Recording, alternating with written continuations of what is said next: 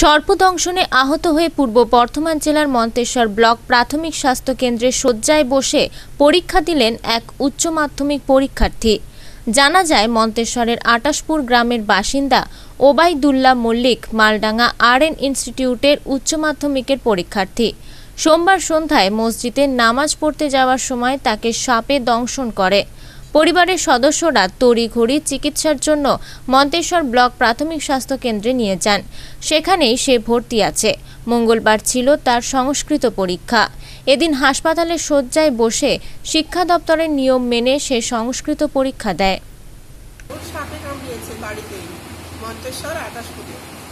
আচ্ছা তারপরে? যেহেতু পরীক্ষা চলছে ওনাকে তো হসপিটালে করতে হবে।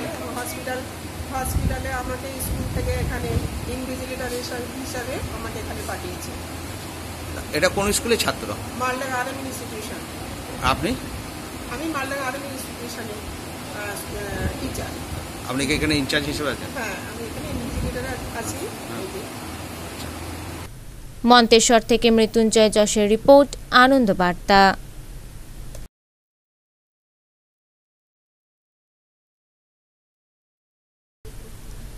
সর্পদংশনে আহত হয়ে পূর্ব বর্ধমান জেলার মন্তেশ্বর ব্লক প্রাথমিক স্বাস্থ্য কেন্দ্রে শয্যায় বসে পরীক্ষা দিলেন এক উচ্চ মাধ্যমিক পরীক্ষার্থী।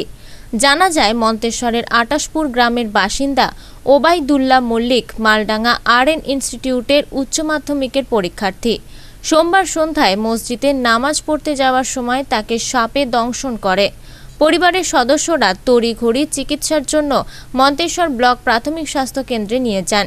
সেখানেই সে ভর্তি আছে। মঙ্গলবার ছিল তার সংস্কৃত পরীক্ষা।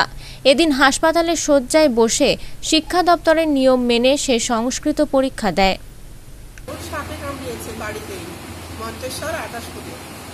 আচ্ছা তারপরে? যেহেতু পরীক্ষা চলছে ওনাকে তো হসপিটালে করতে হবে। হসপিটাল হসপিটালে আমাকে স্কুল থেকে এখানে ইনভিজিলেটর হিসাবে আমাকে এখানে পাঠিয়েছে।